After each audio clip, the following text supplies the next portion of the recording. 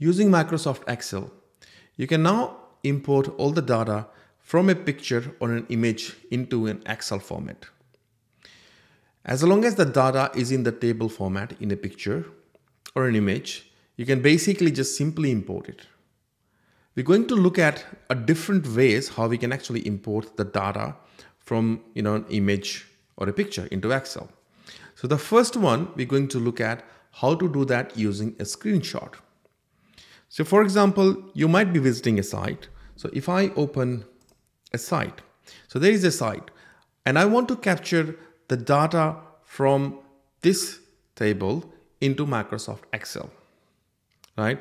It might be really hard to actually, you know, type in all the data if you have a large data table, but it's really, really simple with Microsoft Excel. Okay, so we're going to capture the data first. So I'll open the screenshot. So let's just say I want to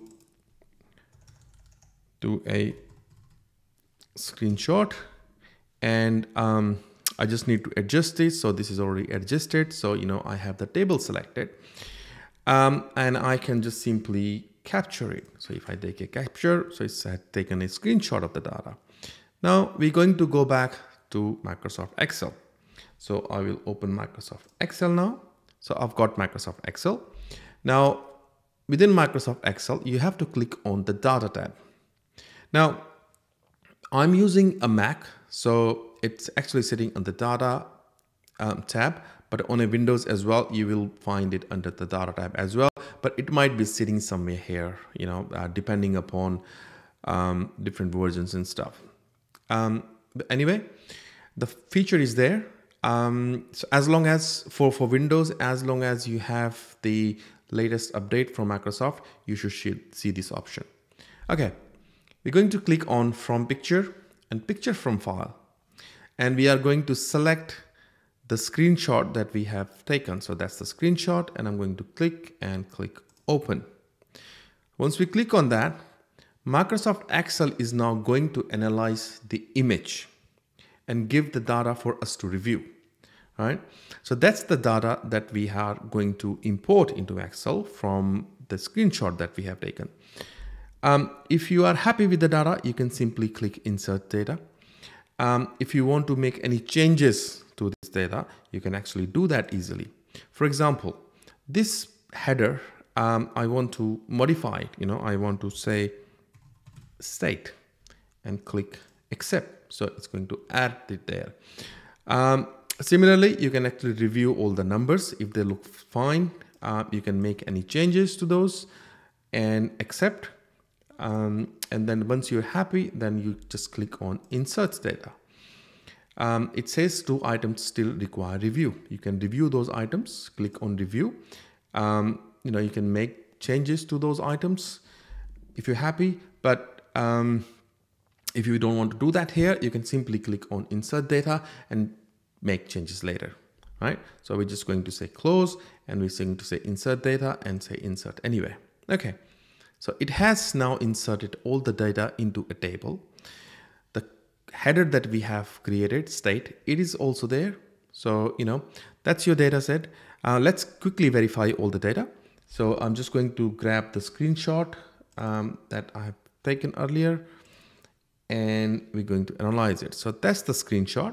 So if we have a look at it, you know, we have all the states um, there. We have our header that we have created.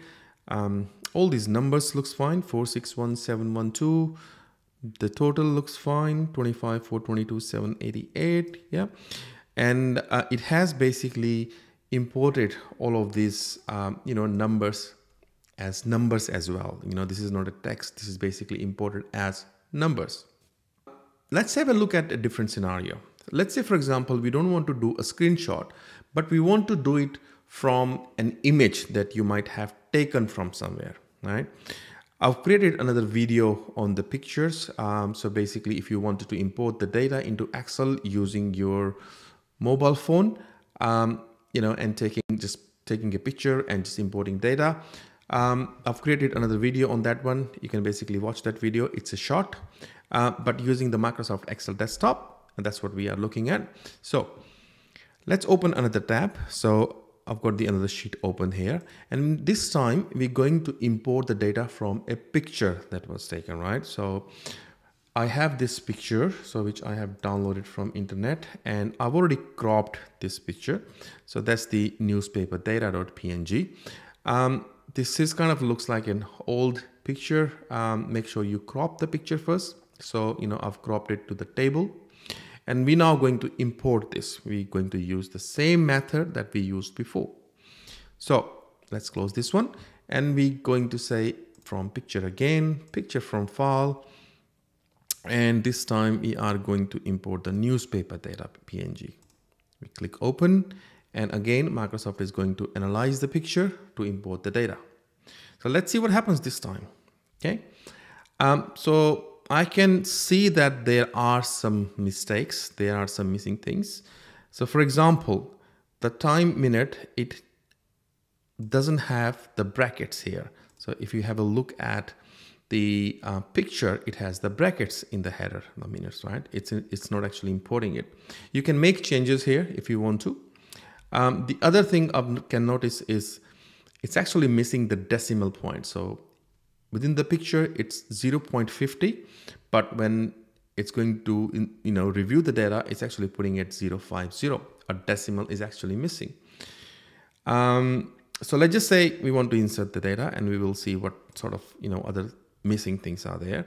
So that's the data it has inserted and i'm going to quickly grab the PNG so that we can actually compare it. So if I bring it here, so obviously 0.50 and this is 50, that's missing. Um, this is 2 comma 00 and within the picture it's actually 2.00. So what I'm trying to say is, you know, using screenshots, it actually brought together all the data because I think that was in a tabular format and it was properly um, you know, Microsoft Excel could properly read all the data.